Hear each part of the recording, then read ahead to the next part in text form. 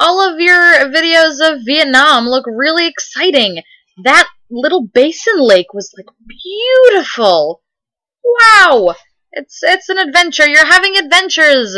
Um, I'm slightly terrified at the idea of you moving to Hanoi and getting a motorbike.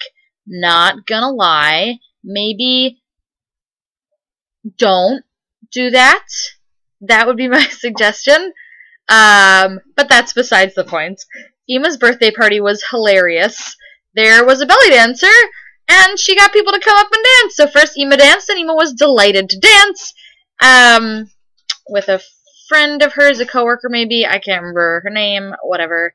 Um, and then Ariel and Gabe were brought up to dance, and uh, they both did not want to, but were goaded into it by the rest of the room, so they belly danced with the belly dance lady, and that uh, did not necessarily make them happy, but they put on a good show, and then Jason and I were brought up to the, the, the cleared area to dance with the belly dancer, and that was the opposite of fun. It's really not what I wanted to do in front of uh, all of my mother's friends.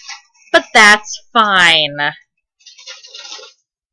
Uh, just fine. um, and then this morning we did uh, Musemas here at uh, the end of the universe. We all opened presents and ate eggnog bread that Ginny made, and I drank eggnog with brandy, and that was nice. Claire and I drank that. And, uh, oh, I got these cool robot earrings. Let me see if I can get them close enough for you to see. Little robot earrings! Yay! And also, uh, I have noise-canceling headphones! I can wear them at parties, I can wear them when it's loud and frustrating and I don't want to be around people, I can cancel the noise. And with my nice new noise-canceling headphones that Claire and Greg got me, and I am so excited. And I got squishables for everybody. So Ginny has a squishable owl, and Claire has a crab, and Greg has a corgi, and I have um my octopus that I have had for like seven years. So now we all have squishables. Those big fuzzy stuffed animals. It's great. Uh, I left all of your tie-dye in Ima Naba's basement. Or rather, before Ima's party, Jason drove me to their house, and I sort of left the duffel bag in the middle of the living room and told Ima what was up at the party. I was like, so, the duffel bag. It's a long story. Can you just put that in the basement or wherever you want it to be? And she said yes. And now it's like 4 p.m. on Sunday, and I've nothing to do. It's pretty great. I'm pretty excited at my lack of uh, plans. And by excited, I mean I have no idea what to do. I don't understand how free time works. I'm not particularly good at sitting around doing nothing? Maybe I'll clean the house. Who's? I've got the day off! Who even knows?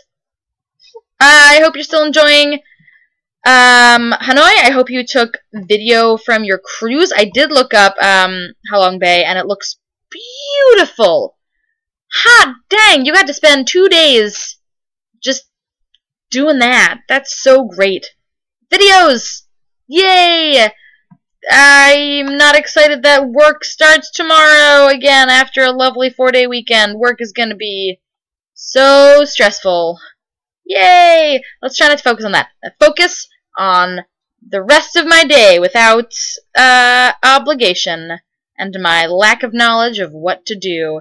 Yeah, it's my day off with Claire. Claire and I get to do whatever we want because um, Greg and Ginny just left to go down to Ginny's family for a Sunday Christmas dinner and tomorrow night is dinner with Claire's family. So this afternoon is me and Claire chilling, being homies in our home. Maybe leaving home for adventures, adventures, or like Quizzo or uh, Bluegrass Night nearby. I don't know. I guess we'll find out what happens. So I will have quiet at home adventures. You will have crazy Vietnam adventures, and we'll meet back here and talk about them. Okay, bye!